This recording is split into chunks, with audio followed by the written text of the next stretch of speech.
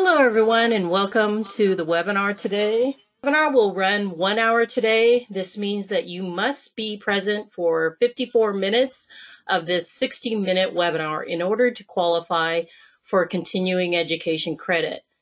Please stay on for the live question and answer session at the end of to ensure you meet the time requirements.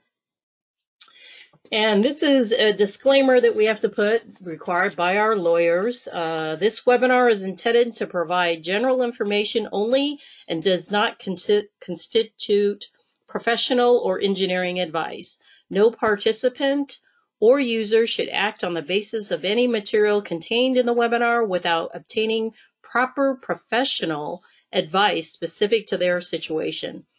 Further, the views expressed by speakers or other third parties are those of the speaker or third party and not necessarily of AWC. And then it goes on regarding the warranty of non-warranty of, of what's presented. This is included in your handout. Lastly, please note that this webinar is being recorded and by remaining a participant, you automatically consent to such recordings. If you do not consent to being recorded, please disconnect from the session. And now, thank you for staying with us through all of those housekeeping slides. I'm going to hand it off to Lori to introduce our guest speakers. And while we're doing that, um, I'm going to launch a poll to the first poll, one and only poll regarding your profession.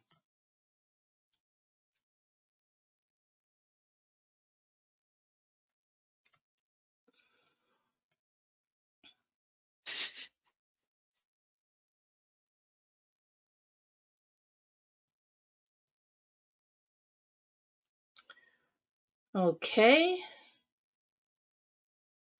I'll close the poll because we have about 82%. And then I'll share it.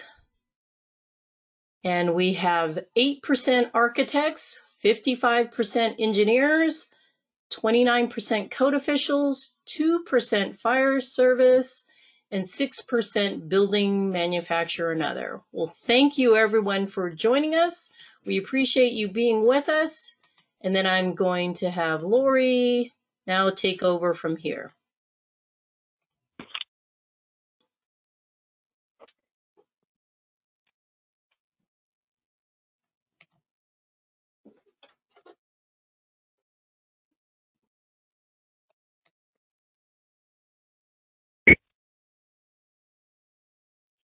All right. Thank you, Michelle.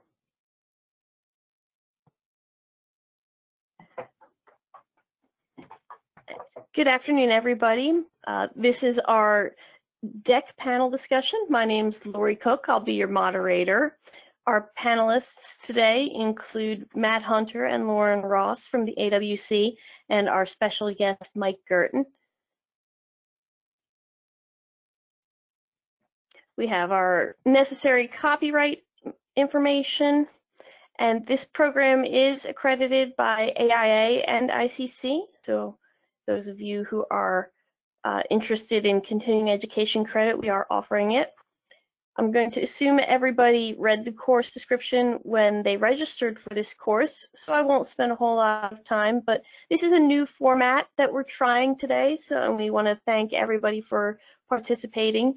We're going to spend uh, just about maybe 20 minutes uh, with our panelists pr presenting some prepared remarks, and then we're going to spend the rest of the time engaging with you all uh, with some questions that folks had submitted previously. And if you have other questions that come up during the, the session, please feel free to type those in the question box and we'll try to get to as many as we can. Obviously, with such a large crowd, we might not be able to get to every question, but we'll try to do the best we can. Our learning objectives were also uh, available when you when you all registered, so we won't spend too much time on those. And as Michelle said, we have our disclaimer required by our lawyers, uh, so we are recording this. So our first presenter is Matt Hunter, and Matt, I'm going to go ahead and give you control of the screen, and Matt's going to speak to us about fasteners. Thank you so much for the introduction, uh, Lori and Michelle, and uh, good afternoon or good morning uh, to our West Coast attendees. Uh, hopefully you can see my lovely picture up there because I'm not going to share my webcam, webcam this afternoon. So I just want to talk to you uh, a little bit about um, some components of a deck today, and we're going to have a focus on fasteners. And The first slide um, is from a, a noted uh, deck professional and researcher, uh, Frank Woeste. Uh, he does a lot of uh, testing and research on wood, wood decks, and he did a lot of this at uh, while he was with the professor at Virginia Tech. And you can see the um, the quote from him, and it's basically saying that very very few instances or hardly any uh, times decks have collapsed because of overloading. Overloading. Um, more more frequent, more occurrent issues happen to be with lack of maintenance, decay, uh, and corrosion of fasteners. So in his professional uh, practice, he's not aware of any deck or guide rail, um, guardrail failures or the deck had been inspected and repaired uh, on an annual basis. So it's it's critical uh, for safety. So the, the fasteners themselves uh, and the inspection and the maintenance of the structure uh, for it to be a permanent structure for any length of time is, is critical. So when we start looking uh, about looking at decks in the building code, uh, we have references in the IRC um, in chapter three, and these are the minimums. So um, the the picture on the on the right that you see in the slide uh, was of a carriage bolt, of half inch diameter carriage bolt uh, that was removed after about 13 years from a guard post in North Carolina.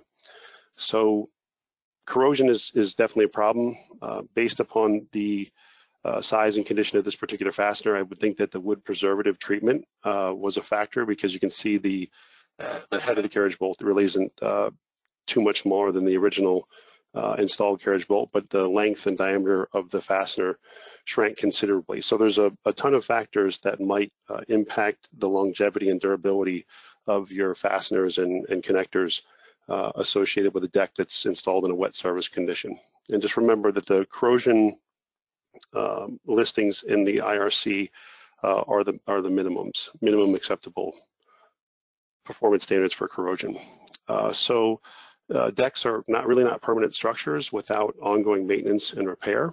Uh, there are lots of warning signs uh, and the, the, usual suspect locations uh, are well known and well documented with, with decks. When we start attaching structural ledgers to the house, we want to make sure our bulk water details uh, are, are very robust and uh, to the best practices we can do, and also, of course, code compliant. Uh, you can see in the picture on the, on the lower part of the slide there, definitely some bulk water issues. you know, part of the ledger is, is still appears to be in good condition, while other parts are just completely uh, just gone. So pay attention to bulk water uh, and flashing details. Are, are these are critical components uh, when we're looking at a deck, deck fastening and deck connectors. So um, some questions are, are deck are yearly inspections warranted uh, for wood decks? A lot of homeowners associations mandate uh, annual, annual safety, inspections on wood decks. Uh, for those of you in the audience uh, that either are inspecting decks or building wood decks, have you removed any fasteners from a deck you've constructed and, and looked at those or inspected those? Uh, the photo in the upper right, what does this tell you about the maintenance that was performed or the lack of maintenance that was performed on the deck? What does it show you about the patterns of corrosion? Uh, the photos in the bottom right with the penetration of the lag screw into the interior rim board of the house uh, and the uh, machine bolt and washer, they're starting to turn white and they're starting to get frosty. That means the uh, sacrificial zinc corrosion uh, is starting to approach the limit of its service life. So these are things these are things we want to look out for. Some useful resources for you, uh, specifically for code officials that are uh, along the coast or even in some cases inland from the coast, uh, is the National Atmospheric Deposition Program. Uh, these, these, uh, this data and all the, the numbers that you see uh, on the map of the United States there, those are the actual testing station locations that are you know, installed throughout the country. and you can see the propensity for the bright red along the coast uh, and this was just data for uh, sodium ion wet deposition in 2018. uh, and the the volume is in kilograms, or I should say that, that the mat is in uh, kilograms uh, per square hectare uh, of additional sodium ion deposition associated with proximity to the coast.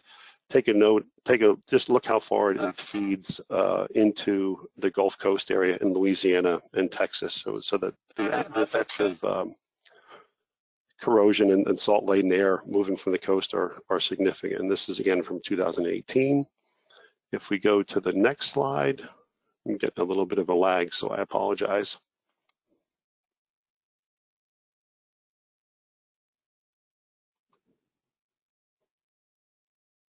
Still getting some lag.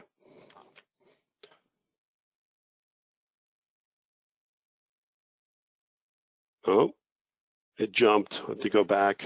My apologies. Little little technical difficulties here.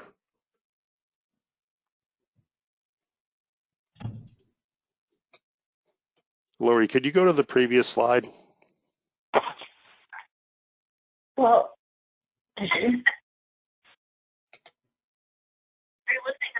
are you listening to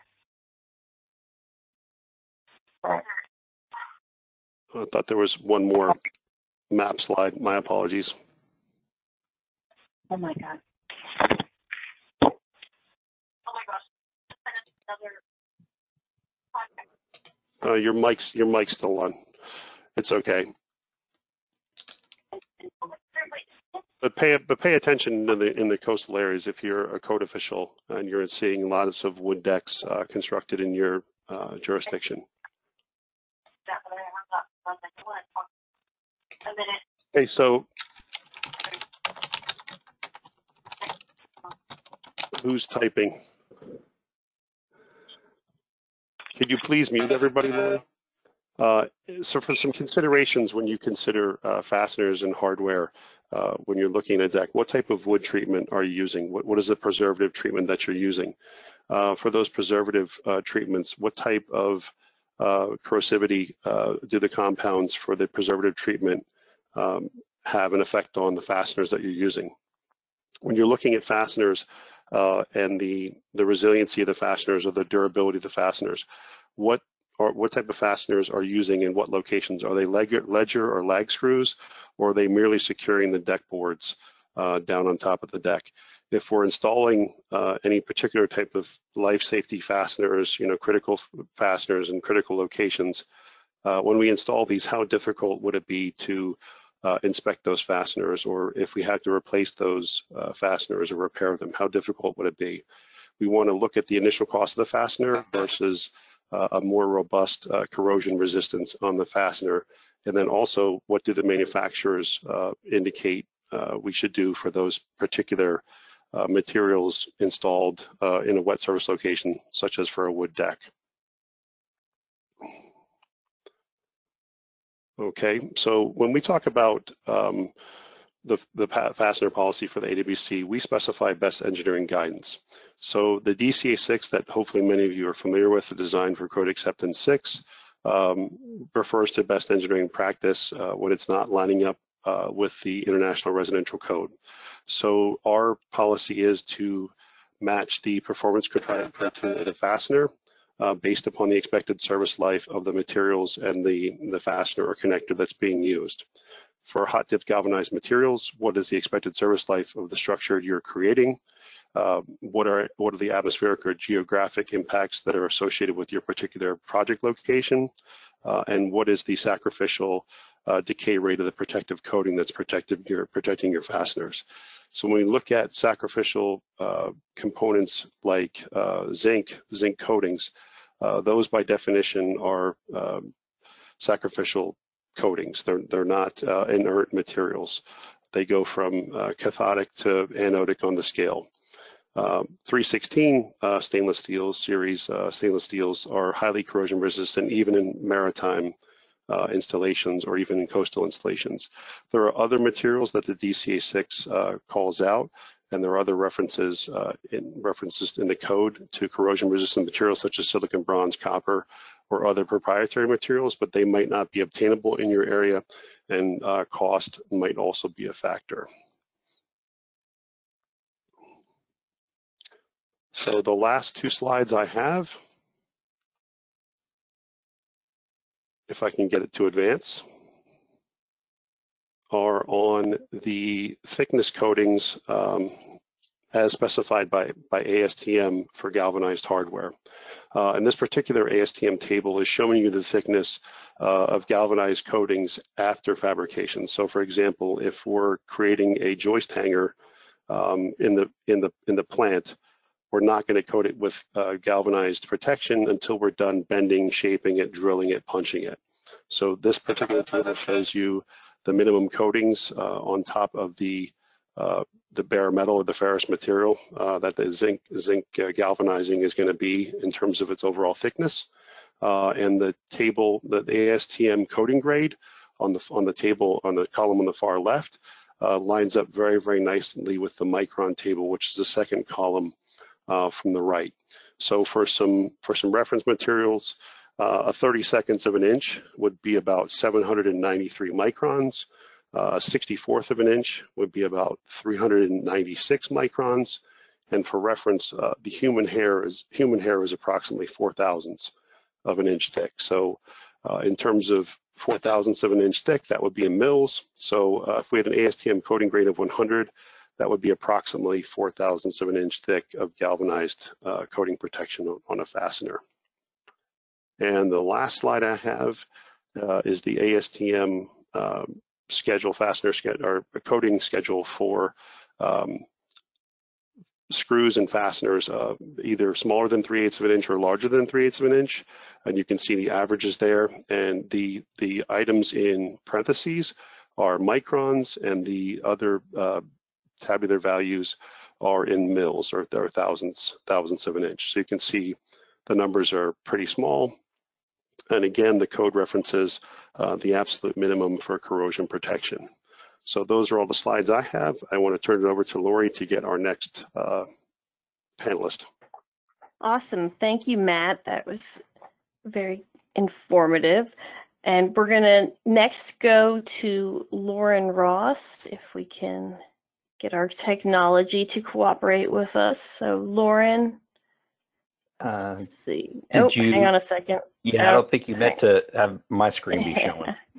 Whoops. Yeah, let's see. Let's try that again. Give give you the mouse and keyboard.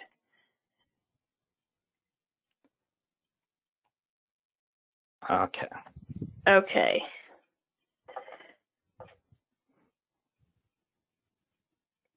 Okay. Okay, so what I've been asked to do is to talk a little bit about what's coming up in the next version of the IRC. Um, these are the proposals, some of the some of the significant proposals that passed relating to decks. And uh, the when it says like RB 184, that's the proposal number. If you want to go onto ICC's website and look it up and have more information about that.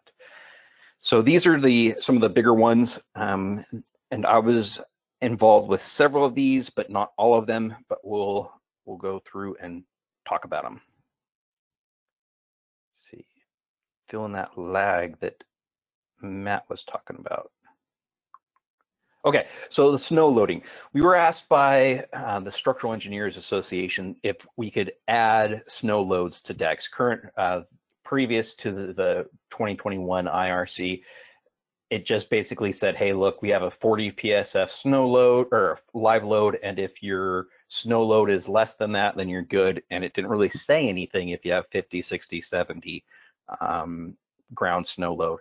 So we added added those tables, and as you'd expect, it's a lot of large tables to make that happen because it's you know going from 40 to 40, 50, 60, and 70. So it's quadrupling the number of tables. Um, we also had to kind of change how things were organized. They're now based on tributary area. I believe the footings were based on tributary area the, before, but now it's also the posts. The joist for allowable joist span is also slightly changed. It used to be, this is the third significant um, format change to that table. It used to be have values if you have no overhang and spans if you have overhangs, and then it changed to um, it changed to spans that you're allowed to have and overhangs that you're allowed to have based on the spacing of the joists. And we were looking at it and we said, hey, look, the allowed overhang is more dependent upon the actual normal joist, the main span, than it is the spacing of the joist. So we changed that. Um, unfortunately, the four by beams were neglected. So like your four by 12 or whatever, but you can use, you can safely use a two two by and it works out the same. The footing and frost protection, I wasn't really involved with this one, but I like this one quite a bit. Um, it clarifies what needs to have frost protection and what doesn't. Like if you're, there's no point in having a deck that has frost protection if it's connected to a building that doesn't have frost protection, right? It's it it makes it more parallel with what with what you're going what you're doing, um, with the idea that you don't want you don't want the change in uh, shifting um, from from the frost heave uh, to cause damage. Okay. Let's see. Okay, this one is another one that I wasn't really involved with. Um, it's that uh, the beams for your decks are now supposed to be directly attached. They have a figure somewhat similar to this that uh, says, "Hey, look, if you're if you're separating them, you're the idea is that you're not giving equal amount of loads. They're not acting as a unit, and and they're not going to have equal amount of loads on them."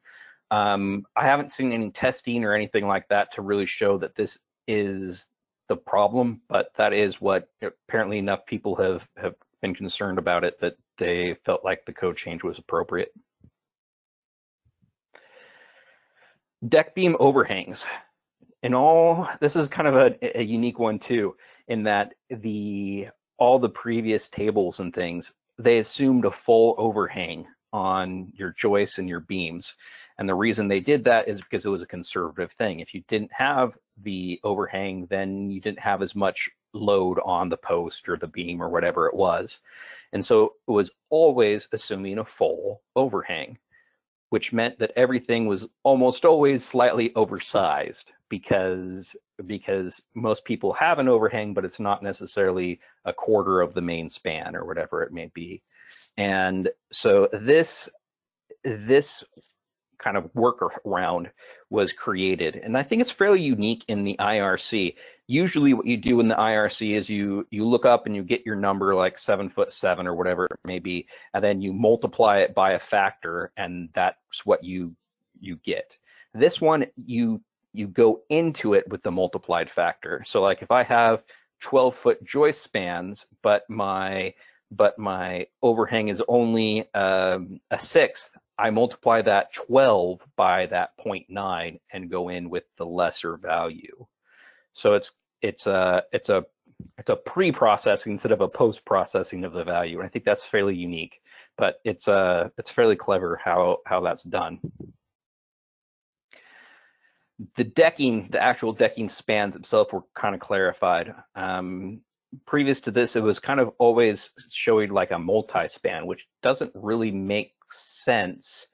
Um, like if, especially if you're doing like a diagonal decking, there's going to be times when you just can't have it do a multi-span, can't have it have bearing on three supports, right, in the corners and whatnot. Or if you're doing um, a small landing or something like that, it, you might not have the multi-span. So this was added um, added to it, and the the five quarters and the two inch were also separated out.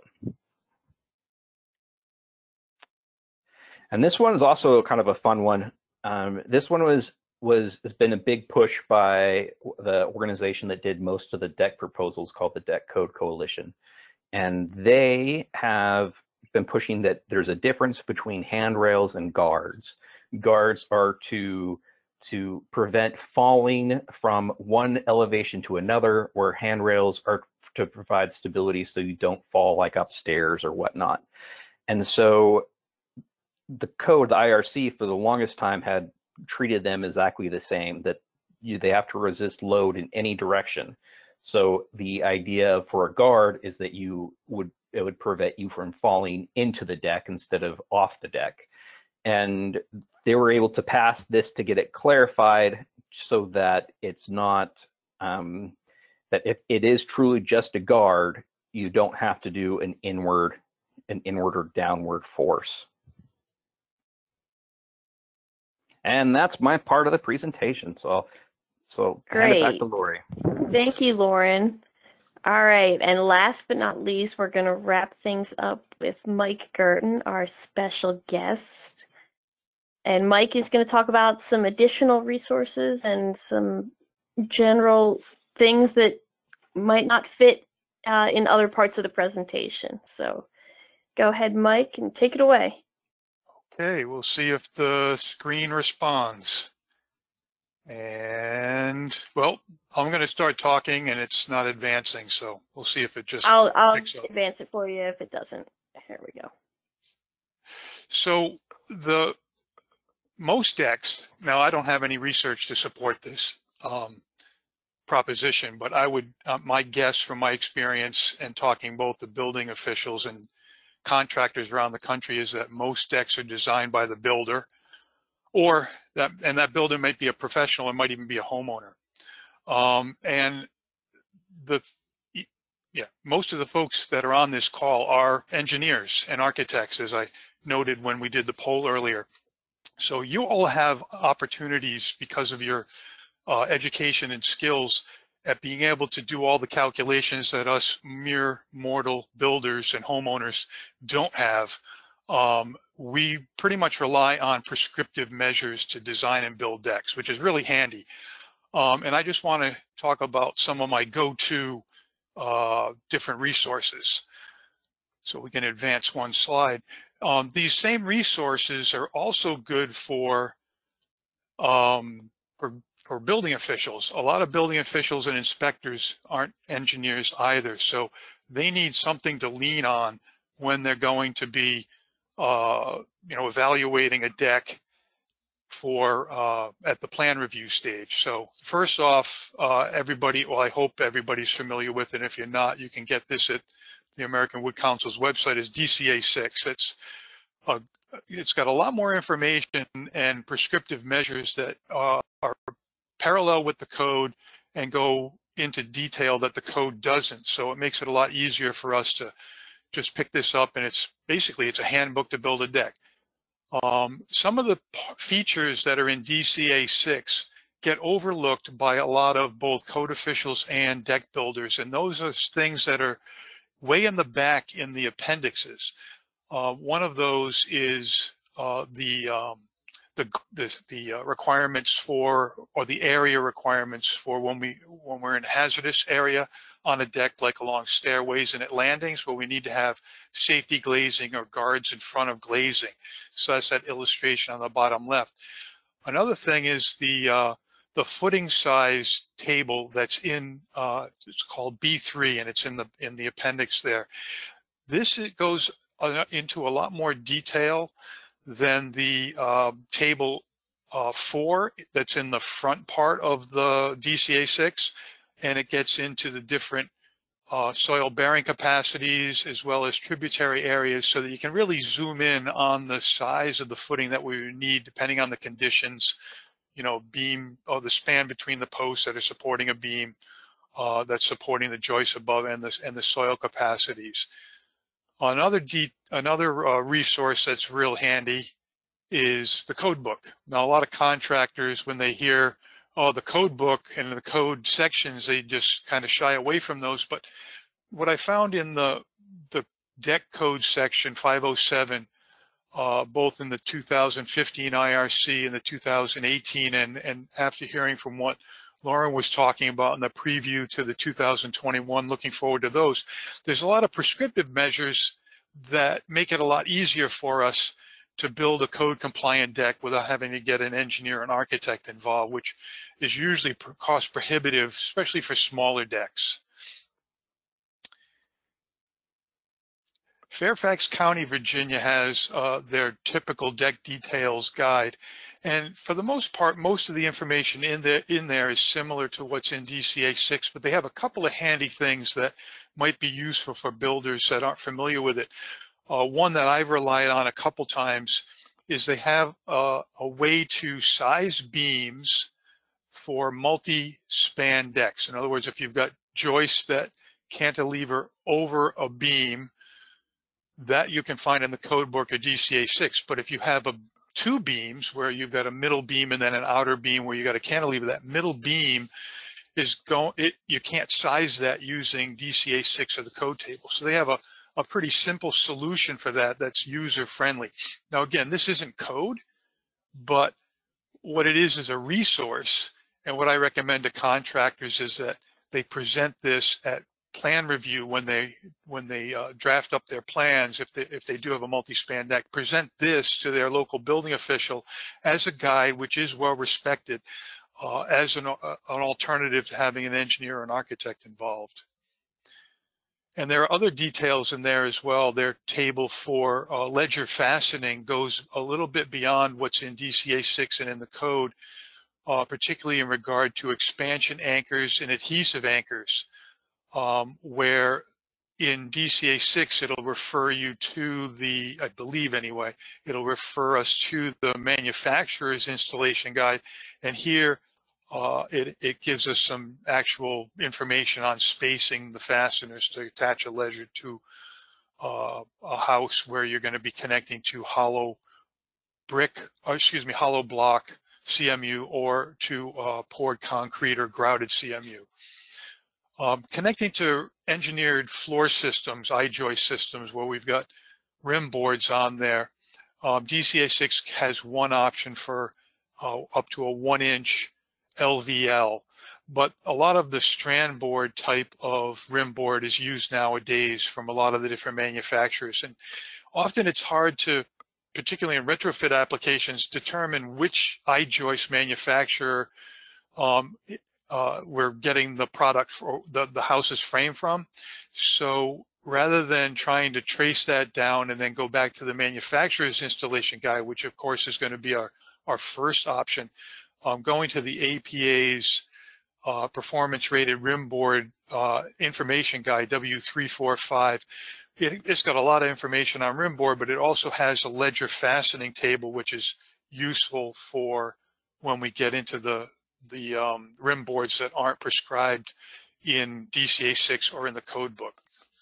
Um, another resource which is actually referenced to, and I learned about it going a little deeper into DCA 6 is the Structural Building Components Association uh, attachment to, of residential deck ledger to metal plate connected wood truss floor systems, basically open web floor trusses. Um, this gives us some options for or, or some detailed uh, information for connecting our deck ledgers to open web floor trusses, both for the ledger attachment and for the lateral load connections.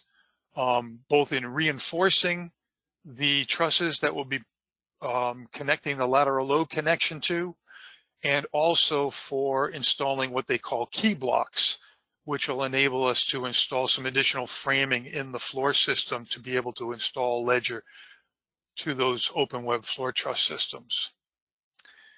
And then final, oh, nope, I was thought I had thought I had one more slide. I got two. Product manufacturers installation guides are um, really what we end up relying on with so much of what we do in decks today and in, in, in, building in general.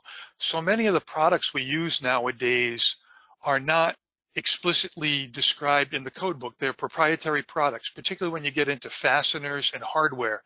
And the only way we know how to install those products, because they're not going to be outlined in the code book and they're not going to be outlined in DCA 6, is to go to those manufacturers' guides um, or and their evaluation reports, be they uh, just a regular report or an ICC ESR.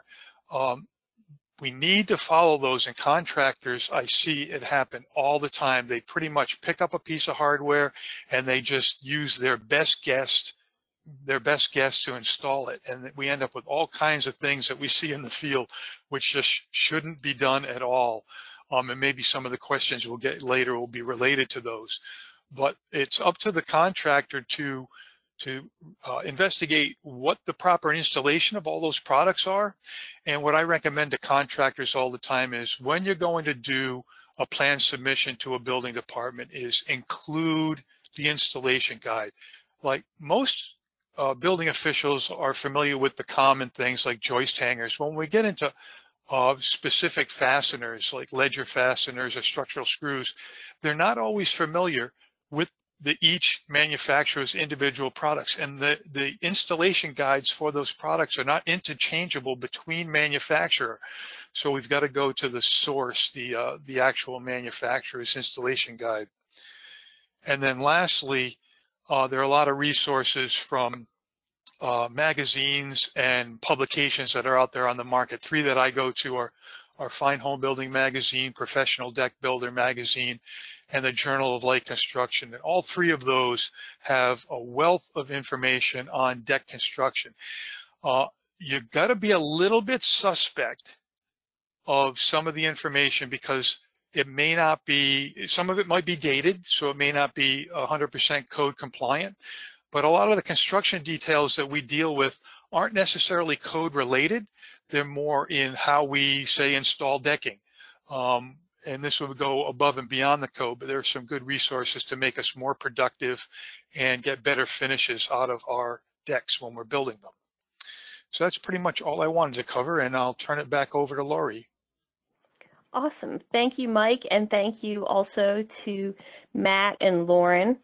And I have been watching our questions roll in from our attendees, so I want to thank everyone for for that as well. So we had some questions that folks had submitted when uh, they registered. So I think that would be a good place to start. And I'm going to start with one for selfish reasons because people ask me this question a lot. So I'm going to ask Loren because he's probably the most heavily involved in this. When will the next version of DCA 6 come out? Will there be a 2018 version, a 2021 version?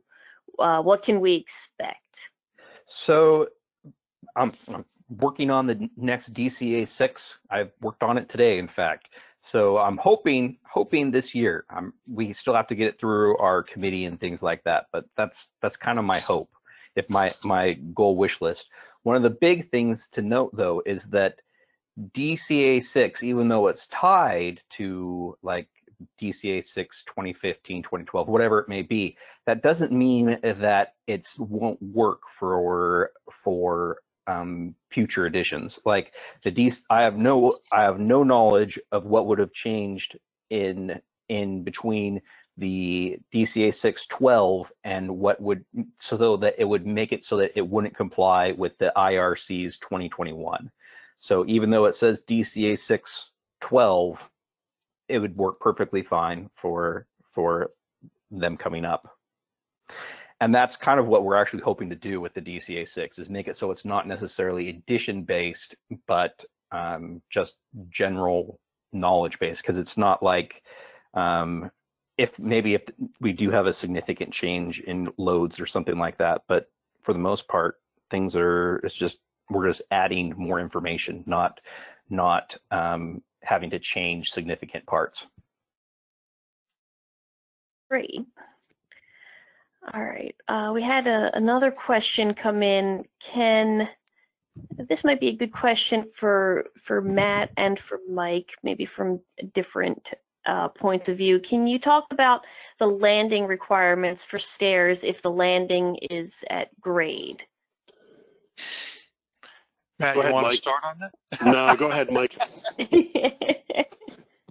I- I've I've actually I I end up fielding a lot of questions from um, both contractors and building officials around the country just because they they learn a- they they just email me or what have you and this question has come up a number of times and um, a friend of mine who's a building official queried the ICC on this and uh, what the feedback was is the code is silent on what that last, if, if we have to have some hard surface or something when we step down off of the last step onto the ground. However, um, when you start looking at uh, what is appropriate when you consider the stair requirements where you have to have an, an even amount of height between all of your treads, excuse me, all your risers not exceeding a deviation of 3 eighths of an inch, and you have to have a measurable slope, a maximum slope of 2%. Uh, when you look at that and you, you consider stepping from the last tread down to the earth, uh, and if you're stepping onto gravel, uh, crushed stone, or uh, lawn, then those two things kind of fall out of the equation. You can't guarantee that over time you're going to stay within that maximum deviation of 3 eighths of an inch for the riser height, and you can't guarantee that you're going to have a measurable slope. Uh, usually what ends up happening is those areas end up eroding out and it becomes a trip hazard. You know, when you're walking up and down stairs, people are used to having a nice equal rise height so that their gait is is based on that. And if you've got an unequal gait at that, I mean, excuse me, uneven uh, rise, you can step off onto something that can be dangerous if you're just stepping onto lawn. So that's pretty much my take on it. And that what we need is uh, a hard surface, be it a, a pavers, a concrete, brick, uh, and that would have to meet the the code as far as the being three feet out from the end of the last tread, the nose of the last tread, and then the width of the stairway. Uh, Lori, the only thing I would add to, to Mike's comments is he's absolutely correct. The, the code is silent on the subject. And, you know, getting to the point of installing something that meets the evenly spaced, you know, identical sized riser height within three eighths of an inch. You know, let's say we do do a concrete pad or some, you know, some pavers or some sort of other impervious surface there uh, as Mike indicated, you know, just associated with the step riser, that surface is going to get worn down too. So even if we do do a transition uh, piece at grade, the the transition piece is going to be impacted by compaction and other issues. So it's just going to kind of kick it further down the road. It's it's going to be a judgment call for the code official and just try to educate the the homeowner and contractor about the potential for tripping hazards. We do all this work and the code does all this work for guards and handrails to avoid you know, tripping and other injuries associated with, you know, improper framing dimensions. And this just kind of, you know, where do you stop basically? All right. Here's the question I'm seeing uh, from a handful of folks, uh, kind of phrased in different ways, but it all seems to be revolving around that 200 pound minimum uh, live load requirement for a guard or a handrail. So this might be a good question for for all of you to chime in on. Um, but does does that 200 pounds does that need to be applied inward? Uh, I think Loren, you had talked about you know that there there is a difference between a guard and a handrail. Um, but how can we determine if our if our whatever our guard handrail meets that 200 pound load requirement and can you talk about the directionality requirements of that point load? Um, I guess this is Loren. I'll, I'll start off with with that. Uh, so it's difficult to verify that it it does meet the 200 pound point load. Um, the there are some details that like DCA 6 has. The code itself does not have those details yet. Um, they have been worked been there has been some attempts to get them in there, but they, for various reasons, haven't haven't been in in there. Um, often manufacturers can have have some form of detail of how they think with their hardware or how their hardware works to make it so it can resist that 200 pounds. Um, as far as the directionality of it, uh, in the IRC up until the 2021, it is every direction. So by code, you have to have it inwards, outwards, upwards, downwards. Um, with the 21 coming out, it's going to change that requirement. But that is limited to the IRC. With if you're doing engineering per the IBC, um, then you're going to point to ASCE 7. And while I know that the Deck Code Coalition have talked with ASCE 7 and tried to get that separated, I don't think they've been successful, at least so far. Um, and so if you're doing IBC work, you're going to have outwards, downwards, all those directions too. Um, and that's that's okay. IRC and ASCE 7 don't always perfectly align, and especially for decks. ASCE 7 has a certain vertical load on on decks that the IRC does not does not reflect. Um, so that's that's how it currently stands now. IRC is is you don't have to do the, all the directions. ASCE seven you do.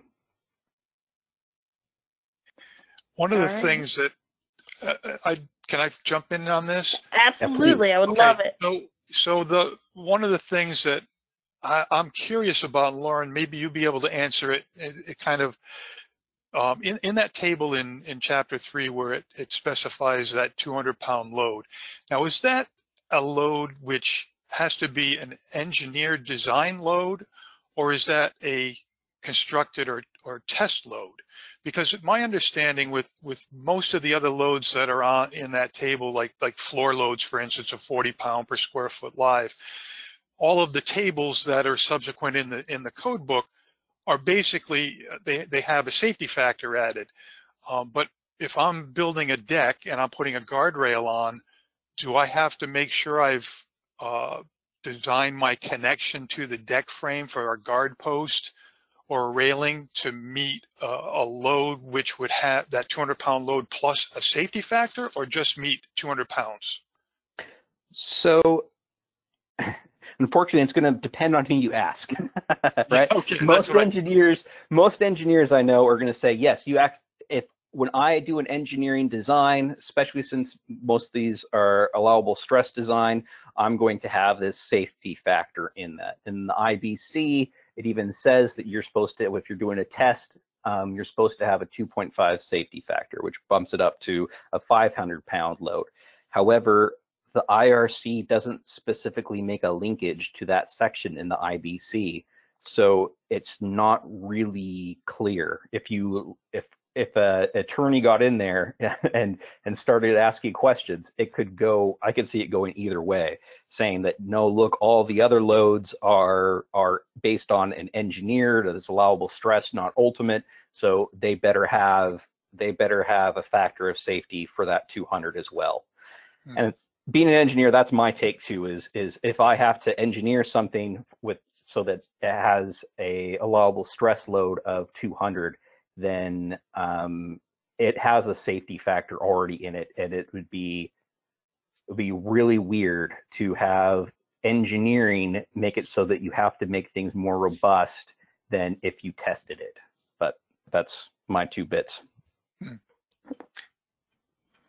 Thank you. All right, great, great discussion.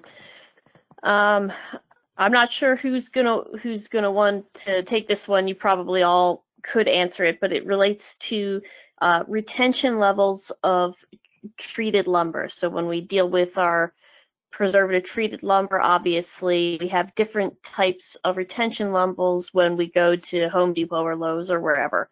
Um, there's ground contact, there's above ground. What type of retention levels should we be looking at? And maybe uh, Loren, did you want to kick take this one first again? Yeah. So there's there's multiple things on this, and I'm sure Mike has has even better answers than I do in a lot of areas. But by code, if it's touching ground, you've got to have a ground ground um, retention levels for ground contact. Now, decks are outside structures and oftentimes get debris on them and things like that. So if I personally were doing a deck, I would have everything be ground contact or better. Um, that's me personally. The recommendations is most of the superstructure um, is is that ground ground contact, and a lot of organizations, I think TW Perry being one, have done made it so that they only sell ground contact, just as a don't have to make the people think, don't have to make them look at the little strips of paper on the end to see to see which where they're if they're doing the right thing because most people they go in and they see it's a treated thing it must be treated for everything and it's good. Um, so some some um, organizations have have gone to completely gone ground contact and personally i think that's a that's a great way to go is just everything being ground contact as much as possible I've noticed that most of the professional lumber yards um, rather than the big box stores so much. Uh, the, the professional yards, at least in in the areas that I've been in the country in the Northeast, basically along the East Coast, have uh, started stocking all of their framing lumber, so two by four through two by 12s, as well as a four by and six by stock for pressure treated lumber as ground contact. Um, so it makes it a lot easier when we go into the lumberyard where we don't actually have to go and look at those little stickers at the end. Um, but I don't know if that's the case around the country. Um, the the one thing that was I noticed a number of years ago, and I don't know exactly when it came up, is uh, the treating the American Wood Preservers Association came up with their their labeling, so it's it's not just a, a one size fits all kind of treatment. Now they have the UC4A, UC4B, UC4C. So you've got different levels, even when you get into ground contact from like a standard to a heavy duty to an extreme duty. So, you know, for, for contractors or building officials, if you know that your uh, decks are being built in areas where the soils are particularly biologically active, where you're going to get a lot more just critters and fungus and, you know, wet climates, things like that that going to like the UC4B or UC4C treatment level, uh, which is a, a, higher standard than the, just the basic uh, ground contact. Those are going to perform better and give you a longer service life. There's also the issue too, Mike, of um, the field treatment of cuts and notches, and that's one thing that's usually not looked at in, in depth by a lot of code officials. You know, a lot of contractors don't consider it. They they get a piece of pressure pressure treated lumber, it's ground contact. They notch the post for the double uh, two by beam, and of course they're they're you know they're exposing the center of that wood member, uh, you know, through the cutting and the notching. So. Uh, the code's pretty specific on that. That would be AWPA M4 uh, one of the questions that we get all the time is where can we get this stuff? And maybe that maybe that's another question. Where do we get the treatment for the for um, field treatment of field cuts and ends and notches uh, for for decks for decks? If, if you're on the west coast, where if you're dealing with western species, the incised hem-fir, and uh, then the, the, all of the the copper naphthenate, and there's uh, one other type of treatment I think those are readily available in every hardware store uh, and lumberyard.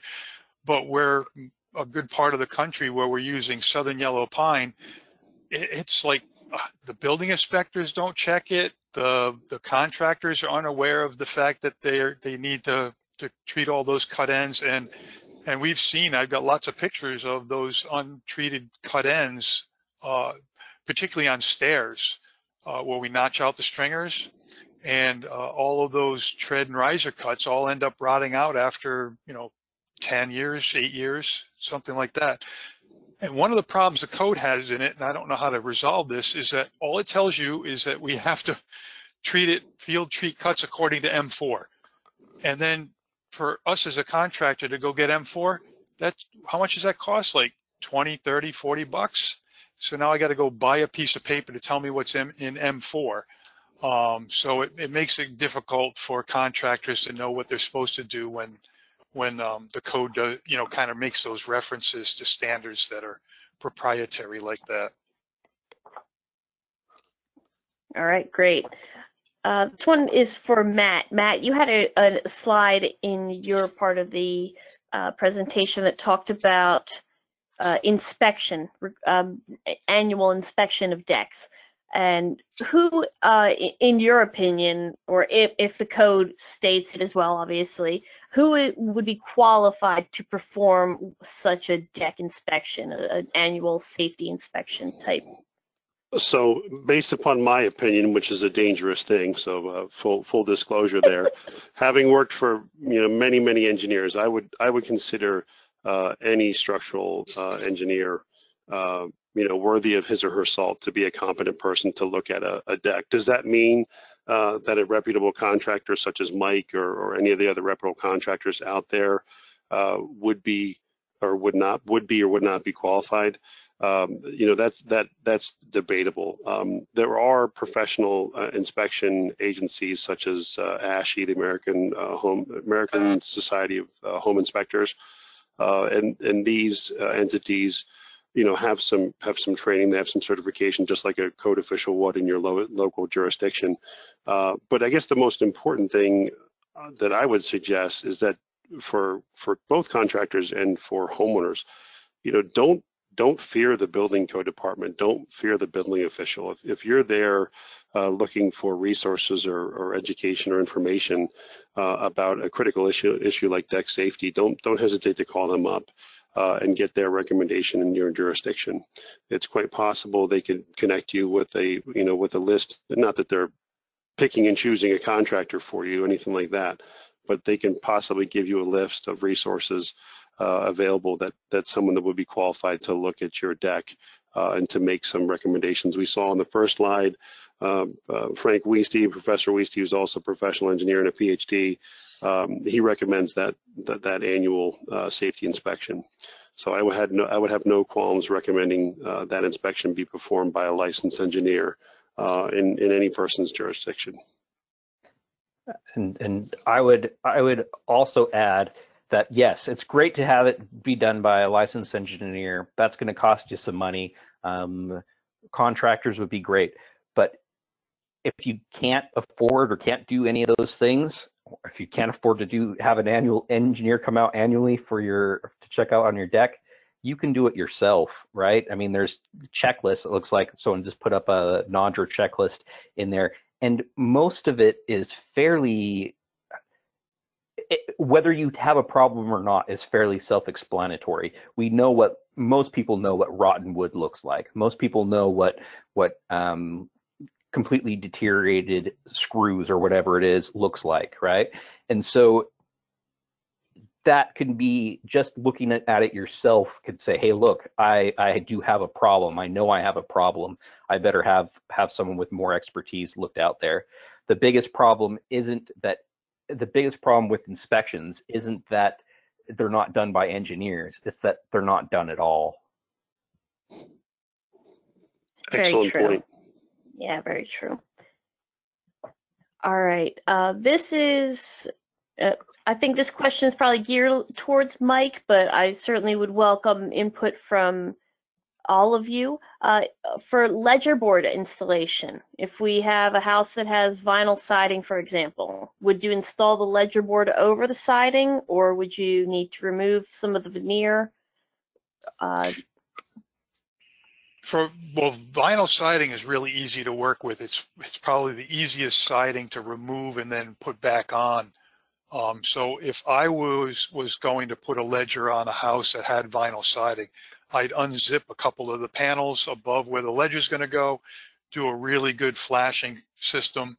Um, we did a, a, webinar that you have, uh, the AWC um, website uh, Mhm. from a couple of months ago there where we covered ledger flashing. And uh, so that'd be a good resource there. And then the, uh, the, the vinyl siding can be reinstalled. Um, it can be put on over. Um, there are a couple of proprietary fastening products that can be um, used that will space the ledger off the wall so the vinyl siding can continue through. Um, but you're going to want to make sure you incorporate your water resistant barrier that's back behind the vinyl with whatever those those brackets are. Um, and by the time you figure out the, the, the uh, extra labor involved in that, you're probably just as well to remove the vinyl siding, cut the WRB back, flash it all in, and then put the vinyl back on. Great. Here's a question we've seen come in from a few folks. So we talked about the guard requirement for decks that are above 30 inches in height. If we have a deck that's below 30 inches in height and we want to install a guard on that, are the requirements still the same? So maybe Matt, you want to start with that one? Yeah, I'll, t- I'll Mike? take a stab at this. I'll take a stab at this one, Lori, uh, and, and please feel free to, uh, you know, for Loren and Mike to jump in. The the the guidance that that I had heard from from other code officials discussing this very topic was, if you in a lot of states, you know, mirror the building code. If there's a certain height um, that your deck structure is below 30 inches is common, 24 inches is common the, risk due to, to serious injury, injury is pretty slight at those elevations.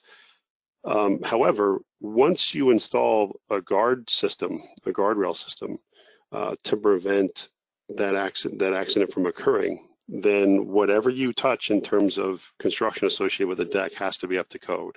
So even if your deck is, you know, let's say it's 30 inches off the ground, you don't, really don't want to do uh, the guard system, uh, but you have, you know, if you have small children or guests or somebody that have small kids and you want it to be safe, so you put a railing up, then all the safety provisions, the spacing, the diameters, the four inch diameters associated with entrapment hazards, stuff like that, the outward resistance, you know, inward, outward, up and down, uh, and the graspable surfaces, uh, all those criteria would have to apply. That's that's just my opinion, and that's what I've heard uh, and discussed and enforced in different municipalities I've worked in. Uh, once you once you put the guard system in, regardless of the height, then the guard system details have to be compliant with the code. So this is a question I often ask when I go out to teach, and um, it's, it's humorous to me how many different responses I get. So the um, the correct answer is whatever your building official says it is. Is the absolute correct Absolutely. answer, right? If he says that it's got to be the, it's got to do that, it's got to do that. Um, so if you're doing it, um, if you're if you're in that situation, talk to your building official. It's it's going to save you a lot of headache one way or the other, and it's not like any of us on here are going to overrule your building official. All right, great. And I think this is uh, a good question. We're getting towards the top of the hour, so uh, we'll we'll wrap it up with this question, and maybe you all could expand on this. Uh, what if you are giving advice to somebody that's out there inspecting a deck? What is the most common th- inspection error or the most common detail installation error?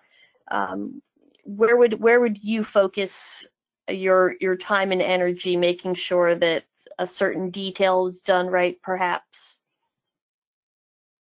so maybe Loren would you like to start I, I would say it's that ledger board, the connection to the ledger, and making sure that there's proper drainage and um, the decay doesn't happen.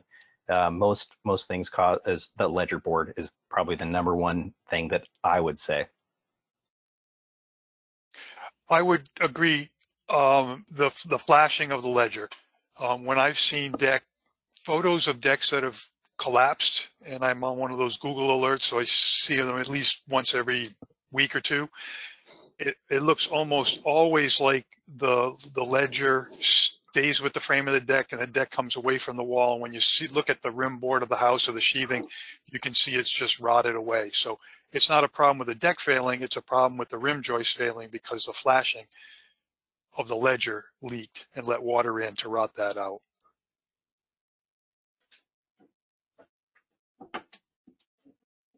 All right and matt did you want to offer uh, any comment on this one Yeah, absolutely. The the ledger connection detail, and as Mike and Loren indicated, the bulk water. You know, getting making sure that bulk water uh, gets out of that space and doesn't get between the pressure treated lumber of the house uh, and the and the deck uh, is is critical.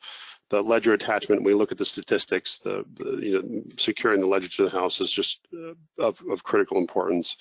Uh, and the other thing is too is just a pet peeve from from my experience of using any possible type of screw or fastener other than a rated uh, framing framing nail or, or, you know ring shank nail or whatever's approved in the code hot dip galvanized fastener in a in a joist hanger. Just from roofing nails to to drywall nails just the the right fasteners are out there. If you don't know what the right fastener is just please ask us. We'll be happy to tell you absolutely and with that in mind we will provide our contact information. So thank you everyone for attending today. Thank you to Matt and Mike and Loren